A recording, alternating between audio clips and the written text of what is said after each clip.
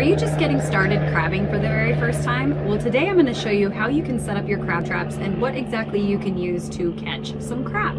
Hi, my name is Jamie Peth with Anglers Unlimited, where we help you catch more fish and have more fun on the water. If you like videos like these, make sure you follow us on YouTube, Instagram, and Facebook, and better yet, sign up for our email list on our website. Link will be in the video description. So let's dive right in. All right, there's two kind of crab traps that we have, that we use. Um, these ones are the ones I prefer, and I'll make sure to link um, the actual manufacturer below in the video description, but they're really nice. They are made out of rebar wrapped in um, rubber.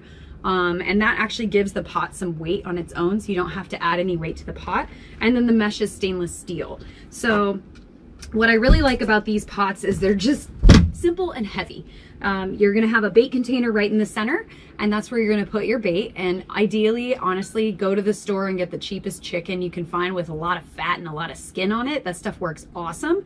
Or if you have salmon carcasses from your season, those work amazing as well. So don't throw away your salmon carcasses. What I do is I actually take just the little sandwich bag, plastic bags, and I'll chop up my sandwich, or I'll chop up my salmon carcasses into sizes that fit into that little bag, and then I'll freeze that bag. And then right before I'm dropping my crab pots, I have these nice little crab sickles and you can just pull off the plastic, pop it in the in the bait container, and you're good to go with not out much mess.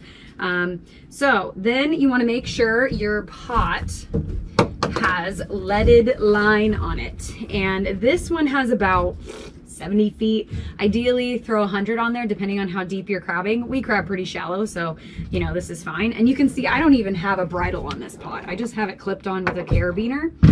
Crabbing is super, super simple. Don't overcomplicate it, just get it done. Um, so you just put your leaded line on there. Absolutely use leaded, do not use anything but leaded line. I'm gonna say that 14 times because I've seen what happens when a boat runs over nylon line. It's not fun and it's very expensive. Um, so once you have your leaded line and your bait in there, make sure everything's secure. And then always before you go crabbing, ch check the doors. So you're gonna see these ramps um, on this particular pot. There's two different ramps and they have little flaps on them which keep the crab from leaving and sometimes those doors will get snagged on um, parts of the pot. So just double check that the doors are not snagged on anything before you actually drop them down. And then once you drop your pot, um, you're gonna use a float on the other end and you have to have a red and white float. We really like this setup, it's pretty handy, but you can literally just use the float by itself. You, you don't have to have this fancy setup, but it works really well for us. So basically we have another carabiner on this side, which we will attach to our line. And then there's a small leaded weight that is just zip tied to this rope right here.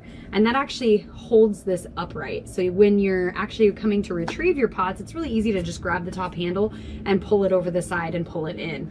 Um, we just have a piece of PVC pipe and you take a washer.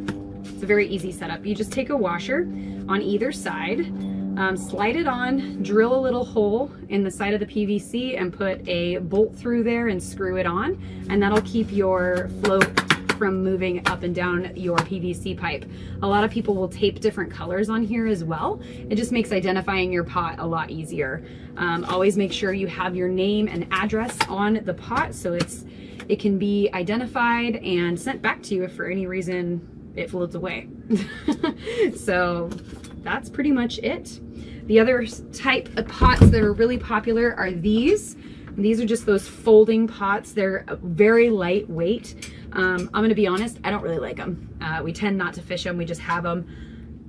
We we just have them still, but they're they're very lightweight and they don't hold up very well. You can easily get a couple seasons out of them and it's way less cost um, but you're gonna need to replace them for sure.